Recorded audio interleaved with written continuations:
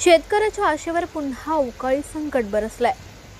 वर्ध्यात वाढतं तापमानानंतर काल म्हणजेच एक मे दोन हजार बावीस रोजी संध्याकाळी कारंजा शहरासह ग्रामीण भागात विजेच्या कडकडाटासह वादळी वाऱ्यासोबत अवकाळी पावसानं हजेरी लावली.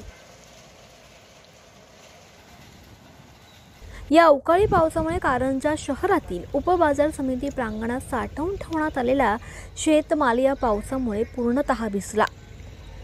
या शेतमालामध्ये गहू हरभरा तूर यांचा समावेश होता. शेतकऱ्यांसह व्यापाऱ्यांचं सुद्धा यामुळे मोठ्या प्रमाणात नुकसान झालंय. पण अचानक झालेल्या या पावसामुळे काही प्रमाणात का होईना पण उष्णतेचं प्रमाण हे कमी झालं.